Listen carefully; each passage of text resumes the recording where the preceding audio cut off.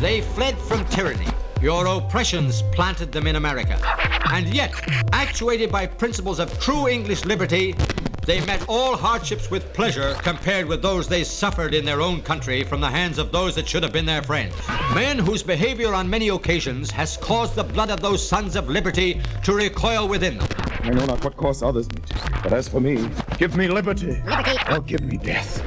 Believe me, remember, I this day told you so. That same spirit of freedom which actuated that people at first will accompany them still. But a people jealous of their liberties, liberty. and who will vindicate them if ever they should be violated. Sons of liberty. Sons of liberty. Sons of liberty. liberty. Is life so dear, or peace so sweet, as to be purchased at the price of chains and slavery? Forbid it, Almighty God. It appears as though something has happened in the motorcade route. Something, I repeat, has happened in the motorcade route who controls the past, controls the future, who controls the present, controls the past. The death of bin Laden marks the most significant achievement to date in our nation's effort to defeat Al Qaeda. All you got to do is start looking around, start thinking for yourself, start investigating things, and you will see it all right there. So you have the power. Humanity has the power. We have the power. Do you want to fight? You better believe you got one. Let us never tolerate outrageous conspiracy theories. As for me, give me liberty or give me death.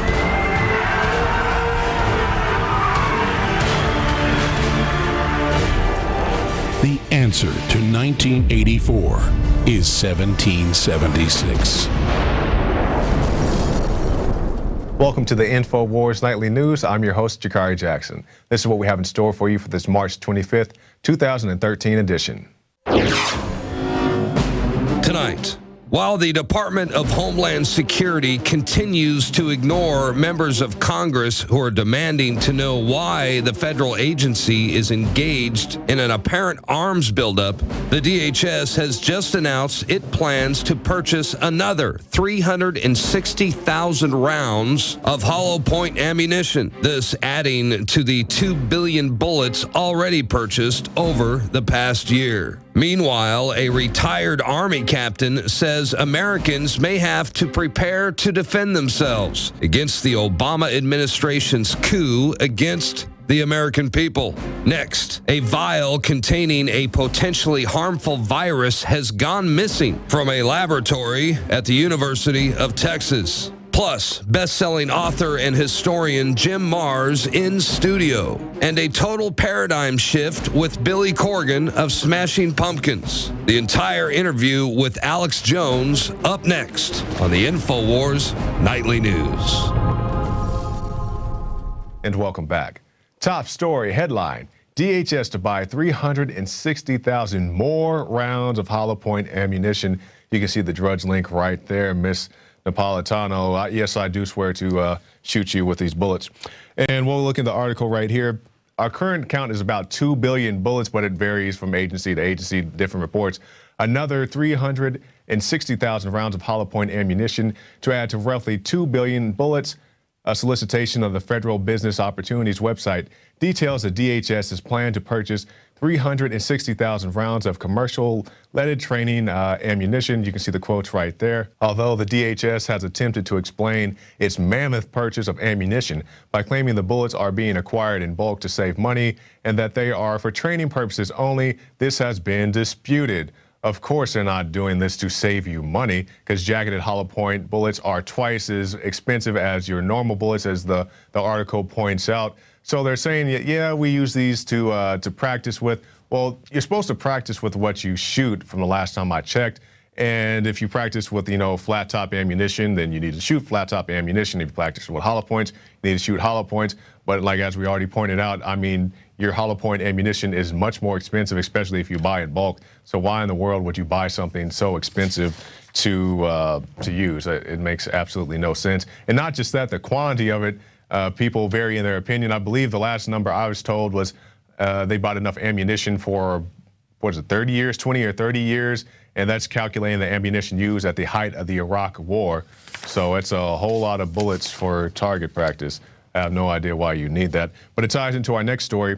Retired Army captain warns DHS acquisitions are a bold threat of war against the American people. And you can see, uh, excuse me, retired United States Army Captain uh, Terry Hestilow publicly voiced grave concerns over the DHS's absurd acquisitions, posting a letter to Senator John Cornyn on Facebook labeling the Obama administration's recent appropriation of weapons a bold threat of war against American citizens. And he goes on to say, you can see his quotes right there. It is with gravest concern that I write you today concerning the recent appropriation of weapons by the Department of Homeland Security that can only be understood as a bold threat of war by the agency.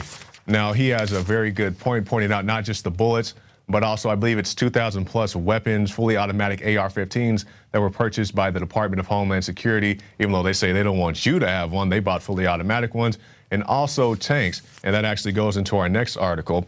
Video, hundreds of DHS armored trucks on the move. And we'll play this video for you in just one second. You can see right there and just let it run. And I want everybody to take an account how many trucks are on this train. Look at all those armored personnel vehicles. I mean, those things are supposed to be mine proof, or excuse me, at least mine resistant. And you'll see in just one second, yeah, there are some dump trucks and other things on there.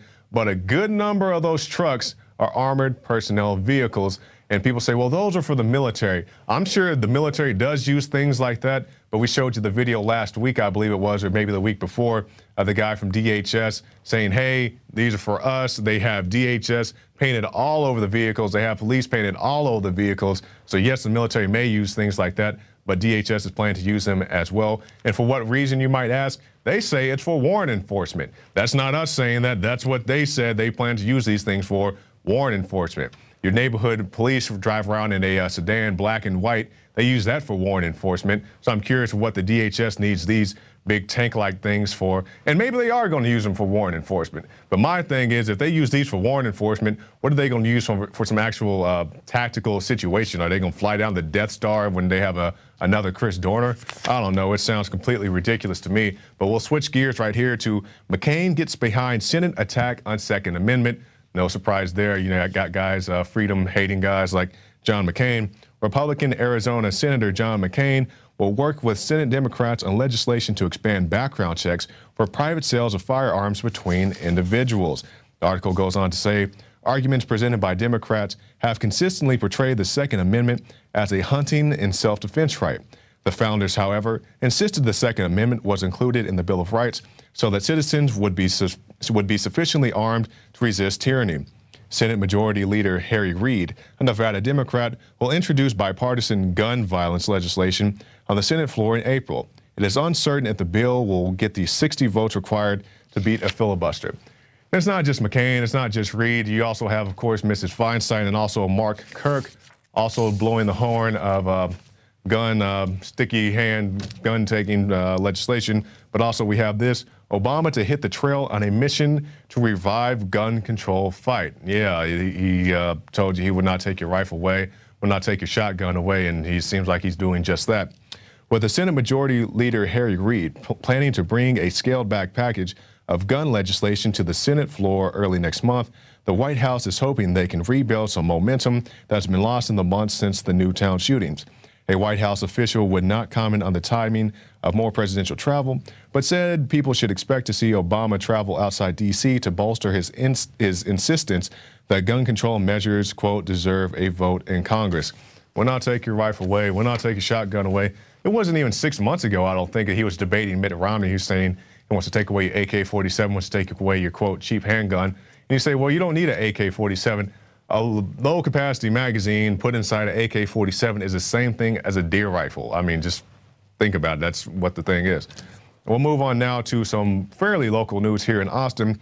End gun show loophole. Acevedo tells U.S. House panel. Now, this is our police chief here in Austin, Art Acevedo.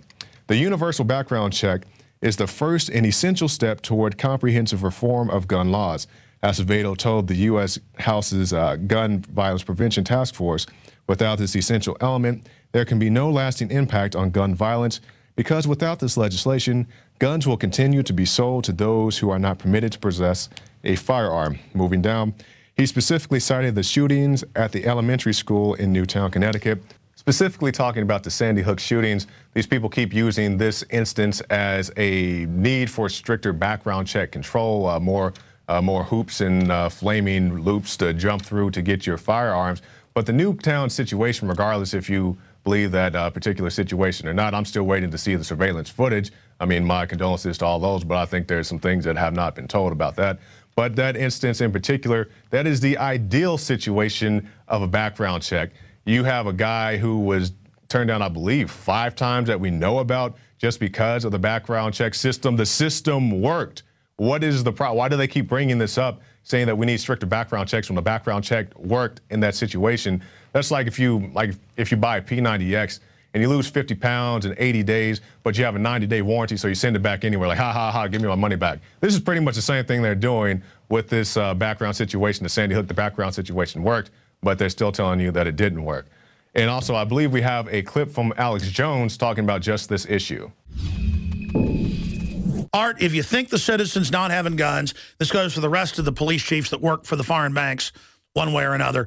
If you think that uh, guns uh, are so uh, evil in the in, in citizens' hands, you should move back to Cuba. You should move to North Korea. You should move to communist China where they got mobile execution vans.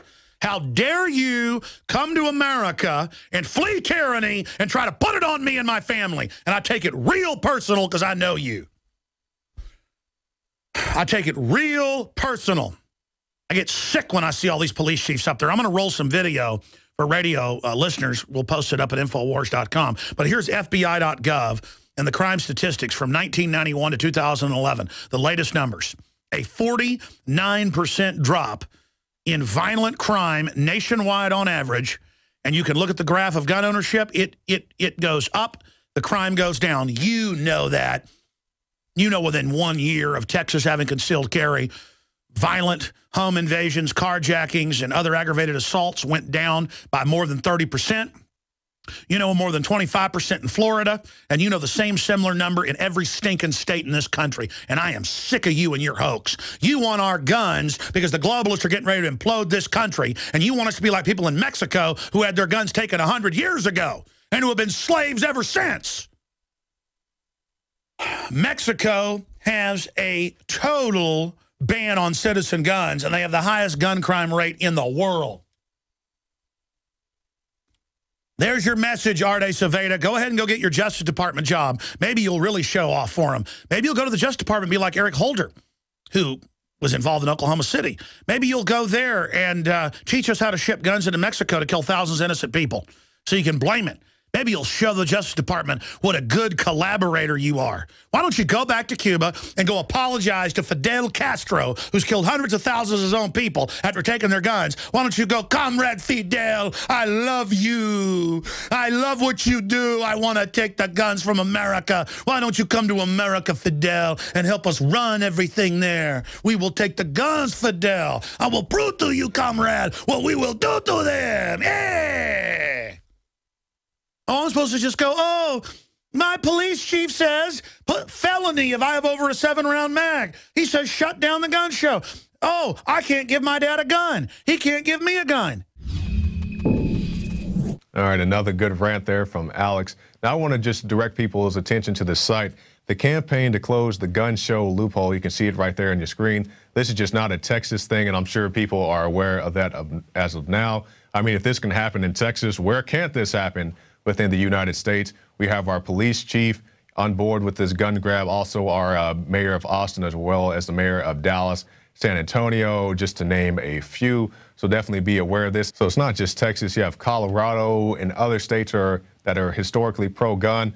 And they say this gun show loophole. I just want people to know, for people who've never bought a gun or they hear Feinstein lie about it on TV, this notion that you can go to a gun show and buy whatever you want without any type of oversight or background check is not entirely true. Are there private sellers at gun shows? Yes. Do all private sellers require a background check? No. But if you go to a gun show and you buy your firearm from a licensed dealer, such as I have, I've been to two different gun shows, bought two different firearms from two different people, And both times they ran a background check on me. So this notion that you can just go walk in the gun show, pay somebody cash, and walk out with a bazooka is not. You know, I mean, it, it doesn't happen like that every single day. I mean, are there private sellers, of course, but there are also still plenty of people who do require a background check. So definitely be aware of that. And we'll move on now to our last article for the night. Virus goes missing at UTMB lab. A vial containing a potentially harmful virus has gone missing from a laboratory at the University of Texas Medical Branch, officials say. And for more on that, we have a special report from Alex Jones. I have found that even the most ignorant people I talk to are aware of the long history of the so called U.S. government and other Western governments testing chemicals, biologicals, radiologicals on U.S. cities, from St. Louis, Missouri to New York City, New York, uh, to Santa Fe, New Mexico, to Dallas, Texas. There have been thousands of programs declassified, and some programs or operations had thousands of tests within them. And you can look this up on the Department of Energy's own website. Uh, in one uh, decade long program, 4,300 plus foster children radiated to death. That's putting children in a chamber and giving them dif- different dosages of radiation. In some cases, they were dead within minutes. They were the lucky ones. Some it took years to die. And there's the ringworm children testing in Israel, 110,000 kids. That's why I say the government's bad. That's why we don't turn our government our guns in because our government cannot be trusted. Our founders taught us that. And at Infowars.com, we try to focus in on real threats. Real threats. There are over 200 admitted, they've got more, level four bioweapons labs in the U.S. There were only about 100 10 years ago. They've doubled them. And they develop bioweapons, airborne Ebola, just one example. Weaponized mouse pox that kills 90 plus percent of humans it comes in contact with. And the one facility out of over 200 that I fingered as the type of place I expect something bad to happen at is the Galveston facility built on a barrier island that is the biggest U.S. loss of life from a natural disaster ever. Almost 10,000 people died when a hurricane hit it 100 years ago. You can look that up. And they it, it gets totally flooded all the time, devastated all the time. Uh, and they've got a level four bioweapons lab there in a level two facility. That means swipe cards and kind of you know, little glass enclosure uh, lab areas. And they've got everything. They've got weaponized stuff in there that is airborne and kills almost everybody that comes in contact with it. Now they have missing uh, enough of a type of hemorrhagic fever or Venezuelan jungle fever that's airborne uh, and that they thought was a bioweapon attack back in the 90s when it first showed up because it was so deadly. And then, of course, our loving government got samples of it, cultured it, uh, and now uh, a container of it enough to infect millions of mice and rats, that's who spreads it, uh, is now missing. And of course, it may turn out, you know, later that it was just misplaced. The point is, is that this is the type of cover story they're going to use when they release a 13 monkey type scenario. And I covered that in my film, End Game Blueprint for Global Enslavement. Now, this story's out. Everybody's saying, Alex, you got to cover it. You got to cover it. This is not the first time this lab has had problems. It's been hit by hurricanes and uh, had massive damage. Now, a level four is supposed to have three rows of fence, machine gun nest, minefield, and then it's supposed to be underground at least three stories with explosive fire bombs in it to burn out everything if uh, anything gets released. It's automated. Of course, they just don't do that. That's the international treaties. Okay, so uh, now uh, hemorrhagic fever, uh, really nasty type of jungle Venezuelan hemorrhagic fever, uh, is uh, missing. And hey, I know what you'll just do. You'll just say it doesn't exist. I understand. That's that's there's no three billion bullets. There's no or two billion bullets. There's no thousands of armored vehicles. There's no checkpoints. There's no FEMA being set up as a domestic military, a new branch of the military for the American people. Everything's fine. And Obama wouldn't raise taxes on poor people, but he did. Uh, but it's okay because he said he wouldn't, and being lied to is a great thing. Now, here's an article a few years ago Biolab in Galveston raises concerns. Uh, New York Times was reporting on that.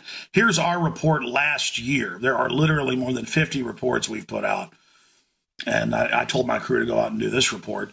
We, we went out and asked Austinites, "Are you concerned about the 30 or so level four bioweapons labs in Texas alone?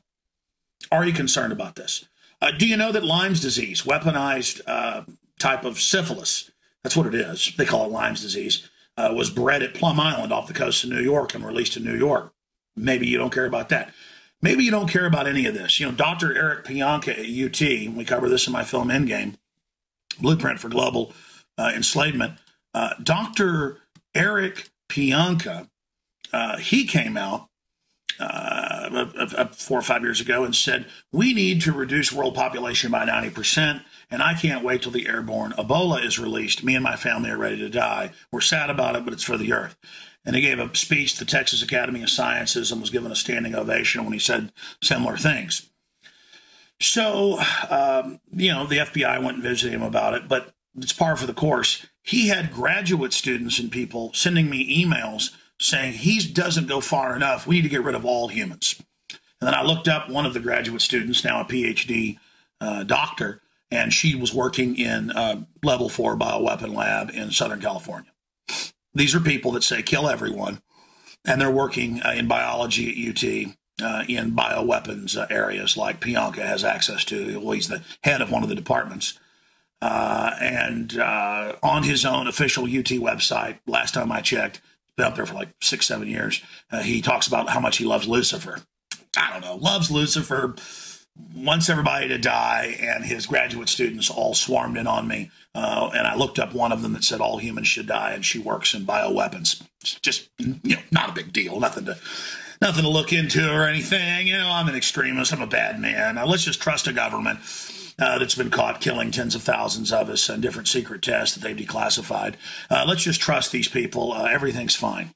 And let's just trust the fact that they're gearing up for domestic warfare with 2 billion plus bullets and thousands of armored vehicles and domestic security forces that they all admit. I am begging uh, all of you to go to Infowars.com and to go to this area of the site. A retired Army captain warns DHS uh, acquisitions are bold threat of war against the American people and that a coup d'etat uh, is taking place. And it's a soft coup. You'll never hear about it. It's just, oh, now we have checkpoints in America. Now we can disappear you. Now we can drone you. It's all happening. It's all happening. If you don't have checks and balances, strong men come in, special interests come in and take everything because it's an act of total domination. So we'll get this video that I'm uh, shooting right now up on Infowars.com. There's an important rebroadcast today. I'm doing 4 to 6 p.m. on Agenda 21 and with George Noory with the syndicated Sunday show that's usually live. And I'll be back tomorrow live, 11 a.m. Central, with the big official radio show. But everything is accelerating. Everything is accelerating. They're coming after the guns, everything. I told you they would. Your denial is what is empowering them. Get up, speak out, get involved, defend the Republic. Alex Jones signing off for Infowars.com on the real threat of bioweapons labs filled, in some cases, with hundreds of pathogens that will kill nine out of 10 people. And that's conservative. Some mousepox estimates are 98 plus percent. And guess what? Universities in the U.S. just did last year. They released the recombinant breakdown on RNA and DNA in viruses, bacteria, you name it, to be able to create hundreds and hundreds of different bioweapons that can be done in labs for a few hundred thousand dollars. That way they have plausible deniability when they release it. When all the little drones fly over and release it on you and your family. Oh, you better look up the Sunshine Project. They got Marine Corps documents a decade ago. The Marine Corps told them to reclassify them, so they took them down, but they're still online. Look into Project Sunshine and the program to spray U.S. cities. It's on the Google uh, archive. Again, or maybe you shouldn't look into it because, you know, I'm a conspiracy theorist. Everything's okay. Take all the vaccines, drink the fluoride water, feed your kids GMO. The government loves you. And this issue is something we've been talking about at InfoWars for quite a while. I believe it's about a year ago. Darrin McBreen filed a report about bioweapons in uh, student laboratories. Government funded universities across the Western world are developing massive warehouses full of bioweapons that they say is for biodefense under the BioShield program. Airborne Ebola, smallpox, bubonic plague, bird flu, and the H1N1 superbug are being weaponized and kept in moderately secured facilities like at the Galveston National Laboratory on the campus of the University of Texas. Now, this may be one of the biggest threats we now face, as the risk of a deadly virus escaping one of these laboratories and starting a global pandemic, well, it is a clear and present danger. Weaponized airborne Ebola, super weaponized viruses and bacteria that kill over 90%, 9 out of 10 people on your street dead. The National Research Council, which is an arm of the National Academy of Sciences, released a report concerning potential hazardous risk associated with the new multi-million dollar infectious disease research lab currently under construction in Kansas. It's located only 120 miles west of Kansas City. It's called the National Bio and Agro Defense Facility, and even though it's a level 4 biolab, which is the highest secured rating issued by the CDC, The expert panel found that there is nearly a 70% chance that a disease will escape the laboratory during its planned 50 year operational lifespan. And it went on to say that the U.S. Department of Homeland Security has not adequately gauged the potential risk of a dangerous airborne pathogen escaping the compound. Let me put this in layman terms. A level 4 bioweapons lab should be three floors under the ground, barbed wire fences, minefields, and machine guns, and a system that if the super germs get out, they pull a lever, alarms go off, and the whole place goes up in flames. But instead, the global elite are storing it in level two facilities like the University of Texas at Galveston behind a glass door with a swipe guard right there in Petri dishes. And they're doing this so that when they release it to massively reduce population, they can claim it was an accident.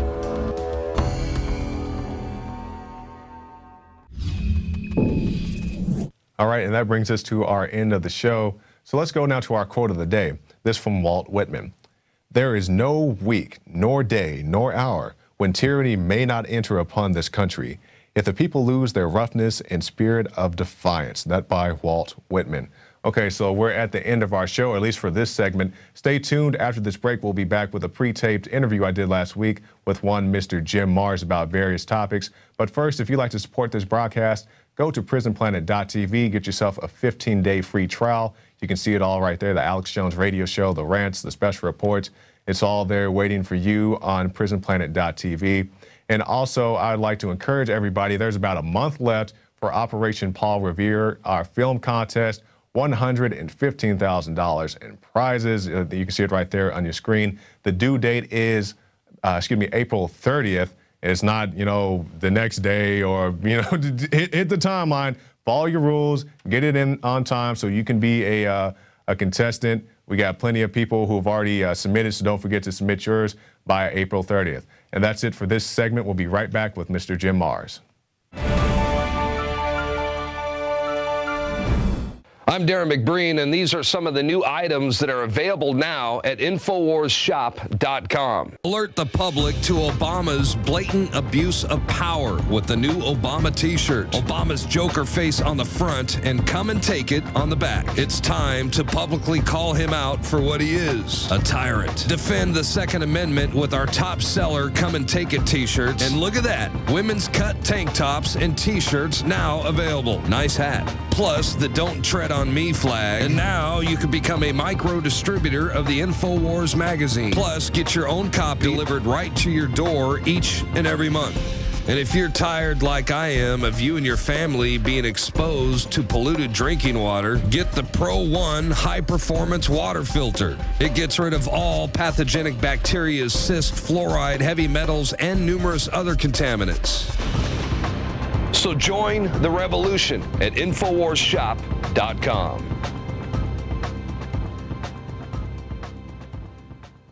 InfoWars magazine is more than just our answer to the internet kill switch. We're also going back to the roots of this country. When our founders, for a decade before 1776, known as the Pamphleteers, with hundreds of little printing presses in every colony, got out the real news, the real information, and countered the system. This is tailor designed with the truth to wake up your friends and family. This is the 21st century version of the Pamphleteers. So get them at InfoWarsShop.com or InfoWarsStore.com.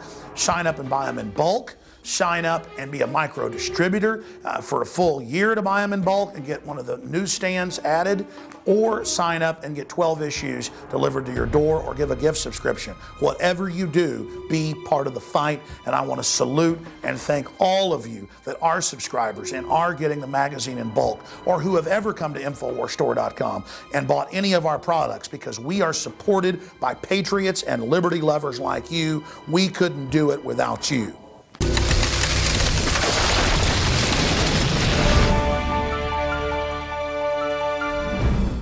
And welcome back. Our guest tonight is Jim Marrs. He is a historian and best-selling author of many works, including his latest, Our Occulted History. He joins us now in studio to talk about his works. Thanks for joining us today, Jim. Hey, it's my pleasure. Thanks for having me. All right. Now, I hear you have the recent analysis on the Cyprus situation. Well, what have you come across? Well, I mean, I'm just looking at it, and of course, you know, they shut down the ATMs, they closed the banks, so you can't get your money back. Um, and they were proposing uh, like almost a 9.9, a 10 percent uh, tax on your savings. on your money. Yeah, on your the money you put in there to save. They're gonna they're gonna rob it. Uh, but I think there's more to it than that. Apparently, uh, Cyprus has been a tax shelter and a tax haven for a lot of wealthy Russians. And this could be part of the kind of the sub rosa covert new nouveau Cold War that's going on, uh, and and Russia, I think, understands it better than we do. Uh, I know Cyprus went to Russia and tried to ask for a big loan to try to pull them out, and they said no, mm. uh, because I think they understand what's going on. But to me, this is all. I think it's a uh, practice run. I think they're practicing to see how the people in Cyprus and how the European Union people and uh, uh, handle this and how they perceive it and how they react to it. And if they're able to get away with this, then you, I think you're going to see this in other uh, countries. Uh, now, think, Jim, do you think there's any reason why this location was chosen, Cyprus? Uh, well, again, because they had some heavy money there uh, from the uh, Russian oligarchs, mm. and uh, I think that number one, they could get, get their hands on a lot of money, and, and number two, again, this was a uh, swipe at Russia. Russia's always been a target for the international bankers because both under the czars and under the communists, uh, they would not play ball and would not create a central bank and would not have, you know, we have a central bank now. Mm-hmm. It's called the Federal Reserve System. Exactly. I'm they glad you mentioned that. It, it's not federal. they, it's neither federal nor does it have any reserves. But, and they don't call it a, a central bank, except actually they've begun to. Uh, that's pretty interesting. All my life, they never referred to the Federal Reserve System as a central bank. But in the last 10 years or so, just on the news, you'll hear, yeah, the central bank today.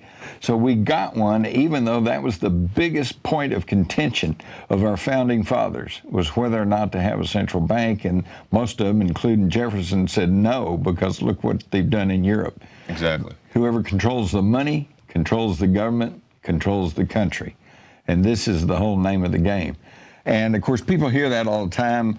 Alex and others are always talking about, uh, well, the Occupy movement, you know, they're talking about the 1%. Uh, and number one, this is now fully documented. This is not a conspiracy theory. In 2011, the Swiss Institute of uh, Financial, whatever, um, control did a study and they found out of 43,000 international corporations, they're all controlled by a thousand. And now that thousand, they are controlled by 147 companies, which in turn, because of cross directorships and ownerships, are controlled by 20. And most of those are banks, okay? And collectively, these tw- people within these 20 companies control the 43,000 corporations and 60% of the uh, of the world's uh, wealth. That is incredible control, and it is incredible tight central control. And this is what they're after. How do they do that? Well, I would mention the uh, Exchange Stabilization Fund. How many people have heard of that? No, nobody. And the Financial Stability Board. You ever heard of that? I heard you talk about that last night. Okay. All right. The Exchange Stabilization Fund was created back during the New Deal in the 30s, uh, and uh, it's a little known office of the Secretary of the Treasury, and it handles the, sh- the transfer of gold and, and wealth between all of the industrial nations. And uh, interestingly enough, even at the time it was created, some of the complaints in Congress was that it would operate outside of U.S. law and outside the Constitution. And uh, they also, this is where all the uh, the black budgets are hidden. The CIA, the NSA, when they have all this money, and uh, well, for instance, the CIA, we all know that they have front companies, airlines, restaurant strings, who knows, and some of those companies are not just totally bogus. They're actually companies, and they actually produce goods and services. Legitimate business. Legitimate businesses. some ways. And they get they get tons of money. Where's that money go? Goes into the uh, Exchange Stabilization Fund, and the Exchange Stabilization Fund also was the founder of the International Monetary Fund and the World Bank, which we also have always heard how they go into these countries and say, now you're going to do this or we won't give you any money. This is the control mechanisms within the control of the entire planet. And uh, this is, this is uh, what Alex is always talking about. And uh, this is the point of contact. This is where the rubber hits the road, where they can actually do this. And if you go and look inside, you find Hank Paulson, you find Timothy Geithner, you find all of the, the people that end up in the headlines running our economy. So it's not just us. This is a worldwide system, and it's uh, been planned for a long time.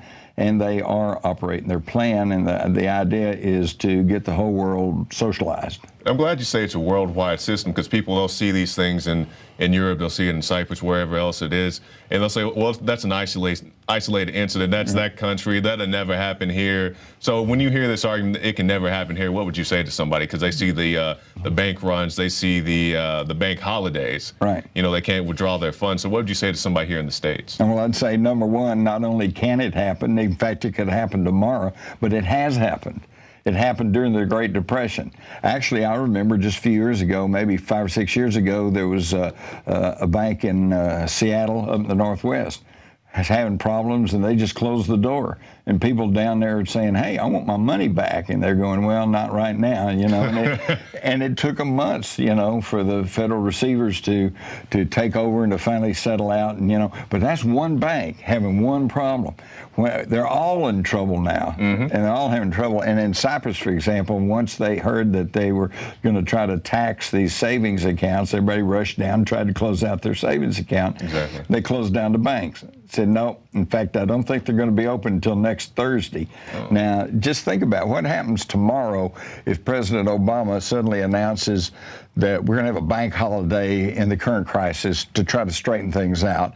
And uh, you know, what's day? Uh, Friday. Friday. He said it's only going to last through next Wednesday. Okay. Well, A lot of bills to pay between now and that does, yeah, it doesn't sound too bad on that point, but then think about it. That means until next Wednesday, you can't deposit money, you can't withdraw money, you can't use your ATM, and you can't use your credit cards. Exactly. This place would fall into chaos, wouldn't it? Oh yeah, especially you got that long weekend between. Oh, it, it would definitely, It'd be a drab weekend. so, what would you recommend to somebody, not just here in the states, but anywhere? You know, they have the money in the bank. Would you recommend withdrawing Get funds? your money or- out of the bank. You should only keep enough money in the bank to pay uh, a month or two ahead in bills. And everything else, is, if it's in paper, then you're you're running a risk.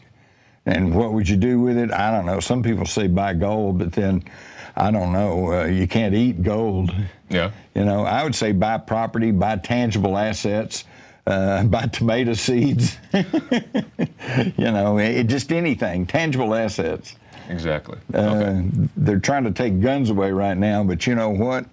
uh, in the history of the world, a, a, quality firearm has done nothing but appreciate in value. Mm-hmm. We just saw that recently with the uh, the recent gun grab. You know, after the Sandy Hook shooting, and you know the price of an AR-15 was what a thousand bucks, and what's it, five thousand plus. AK-47s, you used to be able to get those maybe four or five hundred right. bucks back in the day. Now they'll start at a thousand. Back in the day, I remember uh, you could get those plastic uh, 15, 30 round clips for the uh, 1022 for five or six bucks, mm-hmm. and then they tried to outlaw them, and you could still get them because it, they, it was grandfathered. So right. anyone that were already existing, you could still sell and trade. So it really didn't do anything. They were still available, but instead of five or six bucks, it went to more than a hundred dollars. And, and folks, this is what happens all through history. Uh, the day before they passed the Volstead Act, which was look right here, Jim. which was prohibition, mm-hmm. right? Uh, a little pint of hooch uh, cost about uh, about three dollars. Mm-hmm. And then the next day, after that became illegal, you know, it was like it was like fifty or sixty dollars. Uh, all in the world you do is create a huge black market and the criminals get rich. Mm-hmm. Now we hear the popular argument speaking about the gun, the gun grab. They say, well, uh, we saw Feinstein, I believe it was last week, say, well, I don't want people to have guns because I don't want people to be able to go out and buy a bazooka. And my argument mm-hmm. is, you know, if you have bazookas, the, the lack of availability of a bazooka or at least the ammunition for it, I think is reasonable control enough. You know, yeah. you can't go to your big box store and buy, you know, bazooka ammunition, or if you ask for it, they're gonna call it ATF on you. but, right, and and I, I'll, I, I'd ask you this: When's the last time you heard of somebody killed by a bazooka? Not in the U.S. I can't recall ever hearing Not somebody. Here. People just don't get it. I mean, if strict gun control laws would uh, actually rid the streets of crime, uh, what happened to Chicago? that's the that's the case point in question because they always say get the guns off the street, get the guns off the street, and then they hear about all these shootings in Chicago, which there are shootings, but these aren't your law-abiding citizens no. who you know accidentally shoot their dog when somebody breaks into their house. These are the criminals who never forfeited their guns. Right. These are the criminals who are getting their guns off the black market. So how does this logic work that you get guns out of law-abiding citizens' hands? Well, and Chicago has some of the toughest anti-gun laws in the whole country. Mm-hmm. Same thing with Washington D.C. So here's two of the places with the toughest gun laws, and they have the highest crime and highest murder rates. Get, uh, come on, folks, use your head. Uh, it's that simple. Uh, it, it, it's just, it's nuts. Uh, and besides that, we have a constitution that says uh, the right of the people to bear arms shall, shall not, not, be, infringed. infringed. Infringed means you don't even mess around with it. And personally, I think it's a God given right because, as the old quote goes, uh, God created everyone equal, but Samuel Colt made them equal. I never heard that. That's a good one. Well, you know, you got a 90 pound, 72 year old woman. Mm-hmm. Uh, if she's got a 45, she's just as uh, she can she yeah, can oppose. Six five, yeah, she can oppose the six five two twenty guy. You know, it's it's it's really true. Uh, and then of course the argument is, well, yes, but we've had all these shootings here, all these shooting deaths in the United States. They're twisting the facts number one, their statistics are technically correct, but then they say, but see, Britain doesn't have that high. Well, no, Britain ain't got any guns. They gave them up. Exactly. And and uh, of course, so that's going to skew the numbers. But and over there, the, they kill with an axe or they'll stab you. Exactly. But even in Britain, they uh, they have their crime statistics staggered a little differently. Like right. for example, here in the U.S., let's say uh, three people were shot in a drive-by shooting. That's three different incidents. If three people were shot by a drive-by shooting in Britain, that's one incident. Right. And the and the numbers are skewed and stacked right. in ways like that. But I don't want to spend all the time on that. No. Jim, you also have a, a new book. Got a new book. Our occulted history. Oh boy, this is uh, Number one, this has got an explanation of the Exchange Stabilization Fund in there. It also quotes from the 2011 study to show that just this handful of people control the economy of the world. Uh, basically, uh, the whole back part of the book uh, is the New World Order, mm-hmm. and uh, with the numbers, statistics, facts to show you that it goes beyond conspiracy theory. Now, my question that I bring up in here is well, who are these folks? And why do they think they have the right to uh, rule over everyone? And what I find is it tracks all the way back through history. What I was really shocked and amazed at is that uh, in 2000, the selection of 2000, uh, Bush, George W. Bush, of course, was running against Al Gore.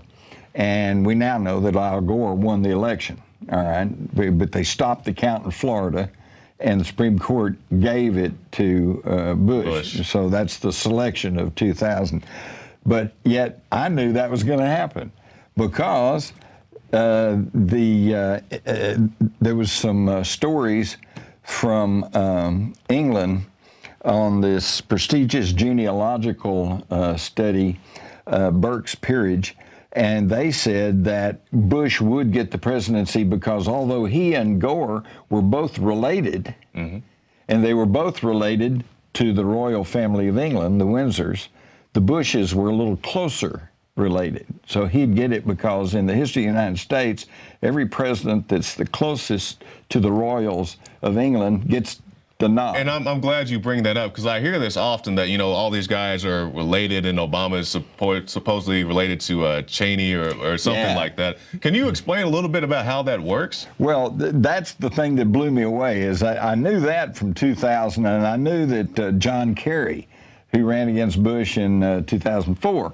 I knew that they were related. And they were both members of Skull and Bones and Secret Society, et cetera, et cetera. And so I'm figuring, well, they're all keeping it in the family here. But then I thought, well, Barack Hussein Obama, how can he be related, right?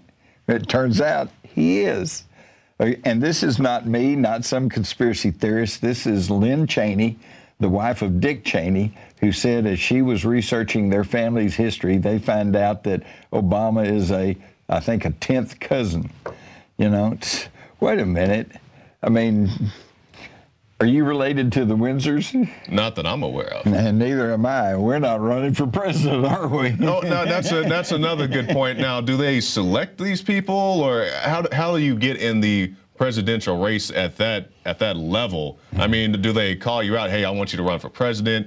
Do you start out for president and you just get promoted if you're in the proper bloodline? Like, how does that work? if you're in the proper bread, bloodline, you are groomed and you are placed in that position.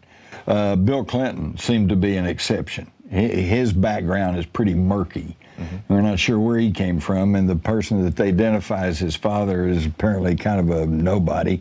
Uh, so it was kind of like, wow, how did that happen? But then in my travels in Arkansas, I hear the rumor, and it's just a rumor, that actually he was the illegitimate son of Winthrop Rockefeller, who was governor of Arkansas and has been closely associated with the Clinton family. In fact, uh, it was Bill Clinton that uh, uh, drove Hale Boggs to the airport on his flight that never came back. Hale, Hale Boggs being a uh, politician from Arkansas who sat on the Warren Commission and was one of the ones who was beginning to dissent and say, we think he was thinking, I, I don't think we were told the truth, and I think maybe there was a, a conspiracy against John Kennedy. And he took a junket up to Alaska and never came back. Bill Clinton drove him to the airport. So Bill Clinton has been groomed. He was a Rhodes Scholar, right? Where do they find some poor kid in Arkansas and send him over to England to be a Rhodes Scholar? That's a very, very so they're, they're groomed. And and Barack Obama, you know, he's uh, he goes to Columbia and enrolls as a foreign exchange student. Mm-hmm. Yeah, that's a that's a very good point. Oh, wait a minute, he, it, it- because right there it's an either or. Either he was a foreign exchange student, which means he's not an American citizen, which raises up that whole question, or he is an American citizen, and which means he lied and cheated and got his way in as a foreign exchange student. Either way, I think we got a problem there, and nobody seems willing or, or able to look into it. Yeah, and you were talking about last night uh, at the speech we went to in Bastrop, and you're saying if, if they want background checks for everybody, let's start with Barack Obama. Amen. He wants background checks if you want to buy a gun. I say, okay, well, we'll start with him. All right, well, Jim, we're about out of time. Do you have any closing thoughts? Um, you have. I think people need to understand that uh, we're looking here, and, I'm just confirming what Alex and a lot of others are saying, which is uh, this is a plan that's unfolding, and the plan is to uh, virtually destroy the sovereignty and freedom of the United States. Uh, it's really an incredible situation because we are told that we were attacked on September the 11th, 2001 by a terrorist who want to destroy our freedom and democracy. That's technically true. Okay? Yeah, it is true. And, and they're winning. Mhm. they are destroying our freedom and democracy. Uh, unfortunately, I think I think you'll agree with me. It doesn't. It, when you peel away all of the pronouncements and all the flack and fluff, uh, you find out it does not actually point to Middle Eastern terrorists. Does Oh it? yeah, it, it's definitely terrorists. I'm just not saying it's the people they, they told us Oh, it it's terrorists, but it's not those Arab Muslim terrorists. Uh, it's Right. uh, somebody else. And I don't think this is outside the realm of study and criticism uh, and debate. Because I can distinctly recall on the afternoon or evening of September the 11th, uh, President Bush said essentially, I may be paraphrasing, but I'm close. He said, We must not rest until we find out who's responsible for this and see that they're punished. So I'm just trying to do what my president said do. Mission accomplished. We saw him standing in front of the big banner, mission accomplished, and, and whatnot. Jim Marrs, thank you for your time, sir. Thank you. And that's it for our show. Definitely want to thank our guest, Mr. Jim Marrs, and all the great reporters who were in this edition. So if you want to support this broadcast, go to prisonplanet.tv, get yourself a 15-day free trial. You can see it all right there, the nightly news, the Alex Jones radio show, the movies, the rants, it's all right there. So I'm Jakari Jackson, and thank you for watching, and we'll see you next time.